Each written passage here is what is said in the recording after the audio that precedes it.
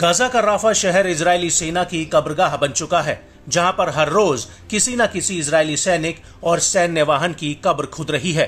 Rafa के हालात इतने खराब हो चुके हैं कि अब इजरायली सेना को लग रहा है कि वो हमास का सफाया कैसे करे। ये बात तो दूर रही, बल्कि अब रफा के भीतर वो हमास के हमलों से खुद को कैसे बचाए, ये अपने आप में बहुत बड़ा सवाल है। वहीं इजरायली पीएम बेंजामिन नेतन्याहू इस बात पर अड़े हुए हैं कि जब तक आईडीएफ तय किए गए लक्ष्यों को हासिल नहीं कर लेती, तब तक इजरायली फौज गाजा से वापसी नहीं करेगी।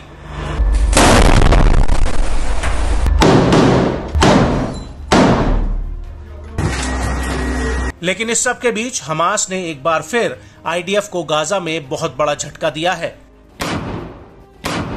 हमास की सैन्य शाखा अल कासिम ब्रिगेड्स ने गाजा के तलल हवा में आईडीएफ पर एक बहुत बड़ा हमला किया है। यहाँ पर अलकासिम ब्रिगेड ने इस हमले का बाकायदा एक वीडियो फुटेज भी रिलीज़ किया है, जिसमें इसराइल के कई सैन्य वाहन इस इलाके में घुसने की कोशिश कर रहे होते हैं। लेकिन अलकासिम ब्रिगेड ने आईडीएफ की राह में कई बारूद आईडी बम बिछा दिए थे। इसके अलावा यहाँ पर बड़े पैमाने पर एंटी पर्सनल विस्फोटक और एक इजरायली बम को भी तलल हवा के दो सेक्टरों में बिछाया गया था। और इस वीडियो में दिख रहा है कि आलामीन मॉस्क के पास अल कासिम के लड़ाकों की आईडीएफ के साथ सीधी भिड़ंत हो जाती है। यहाँ पर अलकासिम के लड़ाके रॉकेट प्रोपेल्ड ग्रेनेड यानी आरपीजी आईडीएफ के हमवी ट्रक पर दाग देते हैं।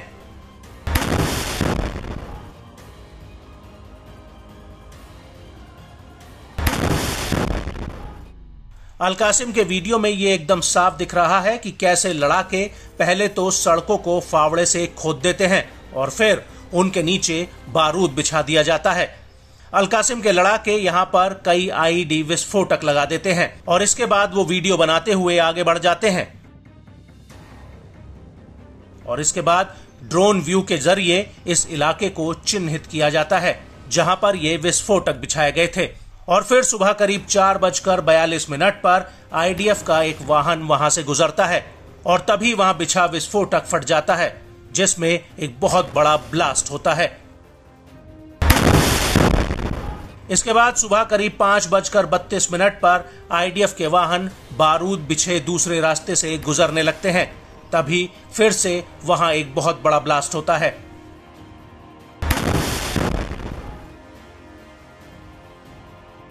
इसके बाद सुबह करीब सात बजकर तेरह मिनट पर सामने से आईडीएफ का एक वाहन आता हुआ दिखाई देता है। और तभी वहाँ पर एक बहुत बड़ा ब्लास्ट हो जाता है, जिसमें करीब पाँच मंजिला इमारत तक धुआँ उठता है।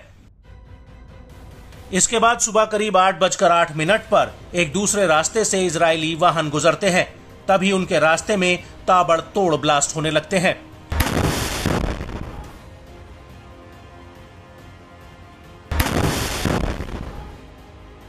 और इसके बाद हमास के वीडियो में आईडीएफ के वाहनों के टुकड़े नज़र आते हैं। और इन हमलों के बीच रफा बॉर्डर क्रॉसिंग के पास डीएफएलपी के लड़ाके आईडीएफ पर कई राउंड्स गोले दागते हैं। साथ ही मुजाहिदीन ब्रिगेड और अंसार ब्रिगेड के लड़ाके रईम में इसराइल के गाजा हेडक्वार्टर पर दो एक सौ 107 एम के रॉकेट फायर कर देते हैं।